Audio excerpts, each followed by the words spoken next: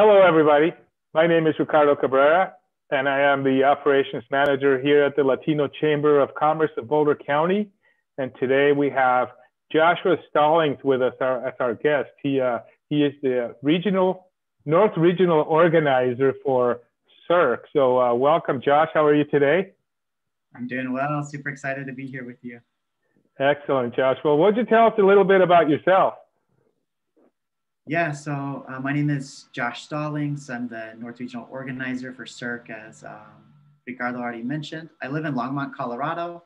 Um, I actually grew up in Texas, just outside of San Antonio, um, and always loved like the mountains and visiting Colorado. So I ended up moving up here for college and staying afterwards. Um, in the middle of that time, I spent a year living in central Mexico, where I uh, worked in a shelter for folks that were migrating northward from Central America and learned all about um, you know immigration and migration and the ways that as people in the United States we're so intimately connected to people in Central America and Mexico and, and around the world. Um, even we don't realize it you know the ways that we vote the products we buy all these things affect people around the world. And so during that year of hearing people's stories about why they were migrating really opened my eyes and I think realized made me realize a connection I have with um, immigrants in our country. And made me want to do something about you know creating a, a country and a state that's more welcoming for immigrants. Wow. Man that's awesome josh. I'm i'm impressed. I didn't know you had such a wide background in uh, in in mexico and uh, with the immigrant community. So uh, it makes perfect sense. Uh, so let's yeah, start I, with oh sorry go ahead. I was just going to say i'm i think like a lot of people in colorado too like i love getting outside and hiking and biking and skiing and all those things. So it's awesome. Excellent. Excellent. Excellent. So, well, let's start with the, uh, the first question and uh, the basic question. You, you are uh, the original organizer for CIRC. So let's start with the easy question. What does CIRC stand for? Yeah, so CIRC stands for the Colorado Immigrant Rights Coalition. Okay. And, and what and does it do? Yeah, so we're a, a statewide membership based coalition so that means that there's organizations around the state that are part of CIRC. Um, there's about 90 in total, and these are everything from like grassroots organizations where you know a handful of people got together and said, let's create our own group, to um, labor unions, faith communities, LGBT rights organizations, victims advocate groups. I think all these organizations realize that in one way or another, we are so um, connected to immigrants in our state. Like we are immigrants um, we need immigrants in our state. And we want to make sure that the state is more welcoming and friendly for our immigrant community. Um, what do you mean by we need immigrants? How, how can we need immigrants? Yeah, that's, I, I think, um, you know, it, it, you don't have to look far to realize that immigrants are really holding up so many industries in our economy from agricultural, agriculture to hospitality to restaurants um, to tech. You know, we have immigrants doing all kinds of things. Um, and I think sometimes we other people, but you know, part of CIRC is whether you're an ally or whether you are impacted yourself as an immigrant, like there's space for you to be at the table and to advocate for the acceptance of all immigrants in our community.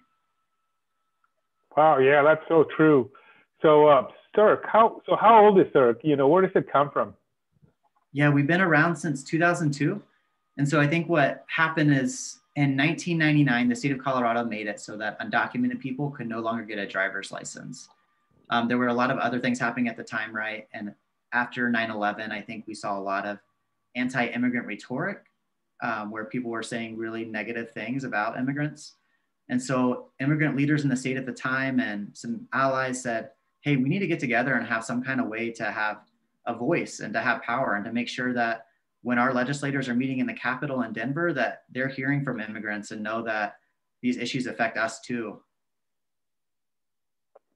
Yeah, okay. So uh, about 18 years, and you guys have been doing great work for all that time 18, 19 years. Um, so, how exactly does CIRC help, or what kind of services do you offer to the immigrant community?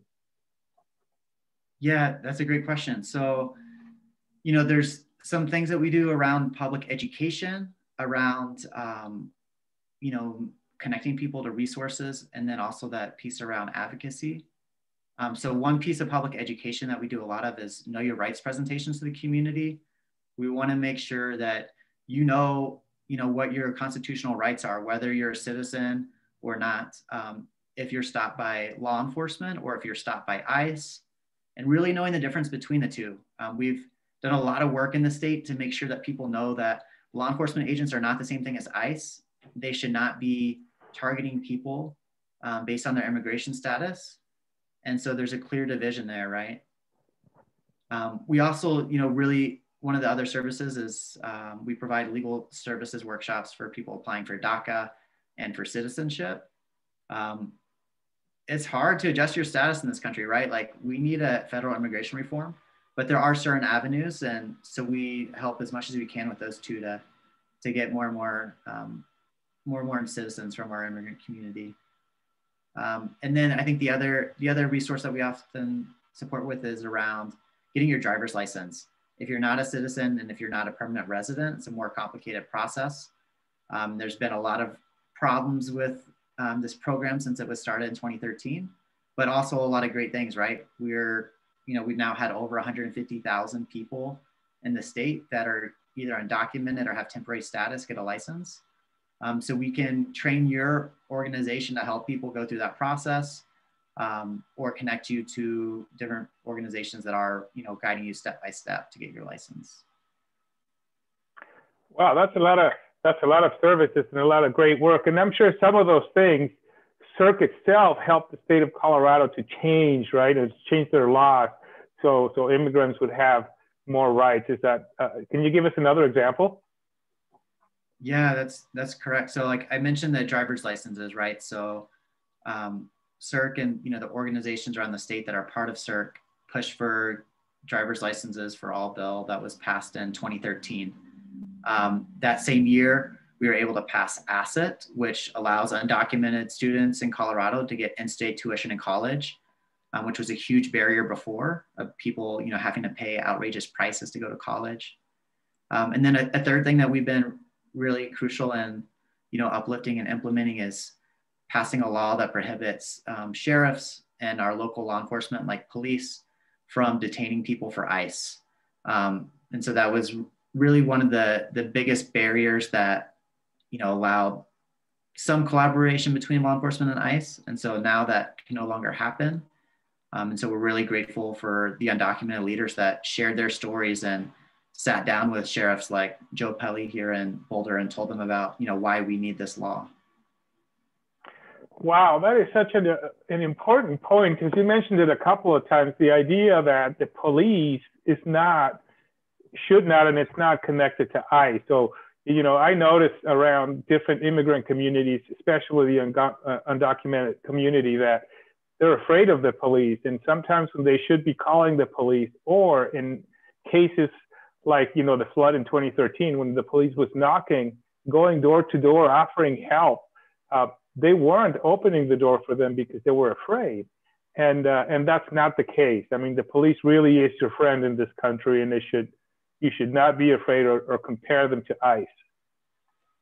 Yeah, that's true. And I think, you know, there's definitely things with our policing system that needs to change in this country, but you shouldn't have to worry anymore in Boulder County about, um, you know, police and ICE working together. That should never be something that happens. And, you know, concerns that you have about policing, like we're, we have a great relationship with our district attorney and with our sheriff. And that's always, you know, I think they're always receptive to feedback too, right? So they're, you know, trusted people in the community, and um, you know, you you are safe, and when you don't feel safe, like please speak up because we're always down to change more.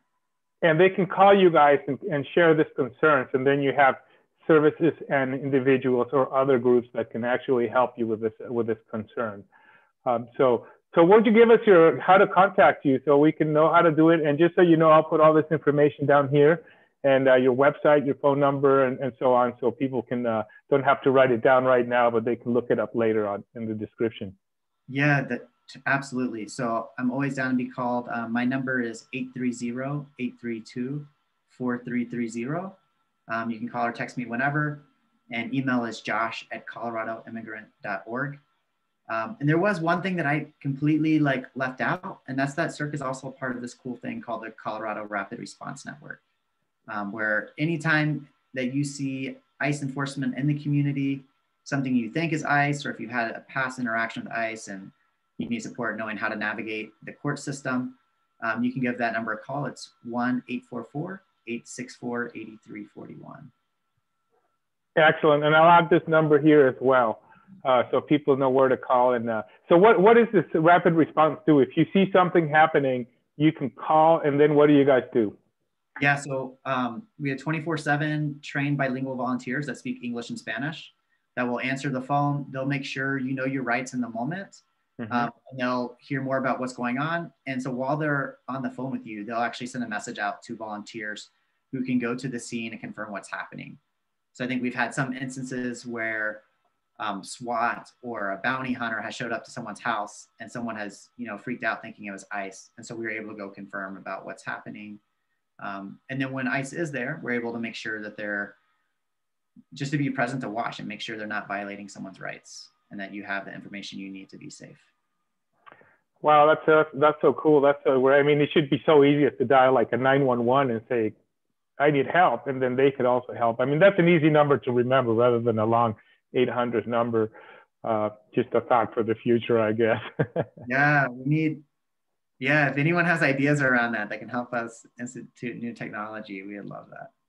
Yeah, yeah, cool. So, uh, so Josh, let me ask you one last question here. Um, you, you, so you have a, a lot of organizations that form your coalition, and you guys offer services and you offer in, instant help and, and other uh, other products, I guess. And uh, but how can somebody be involved? I mean, how can we, the general public, be involved and help and work with CIRC? Yeah, you know, one one thing that we really care about is we want to make sure that you're able to plug in in a way that feels good for you. We realize that everyone has a different story and different passions, um, and so you can definitely feel free to give me a call or shoot me a message because um, we can either plug you into one of the organizations in the state and in our county that's doing great work or CIRC is also looking for volunteers, um, whether you can be a bilingual dispatcher for the hotline or show up to a citizenship workshop to help guide through someone through filling out their application. Um, or even talking to your legislators, right, and telling them about why we need reform or why, you know, what the experiences are of our local immigrant community. There's a lot of ways to plug in. Excellent. Well, what great company, what great group and information. Thank you, Josh, for sharing this with us. Um, and uh, before we go, I have one last surprise question for you. Are you ready? Okay, I think so. uh, here you go. So, what is your favorite sound? What is my favorite town? Yeah. Within Boulder County? Anywhere in the world. Oh my gosh. oh, this is such a hard question. um, hmm. I don't know. I feel like I feel like I have I have to choose two places, I think. I mean, there's a lot of places I want to choose, right? But I think I have to be real to my roots and choose my hometown of um, New Braunfels, Texas. That's where my family is. And it's just a beautiful place with um, a couple of rivers that flow through it. Um, and then I also have to, to choose the town that I lived in in Mexico because I feel like the family that hosted me there and the people I met opened a whole new world to my eyes. And so Tlaxcala plus Tlaxcala, Tlaxcala, Mexico would be my mm-hmm. hometown or my other favorite town. Beautiful places, both of them. So uh, thank you, Josh, for that. And uh, until next time. Awesome. Thank y'all.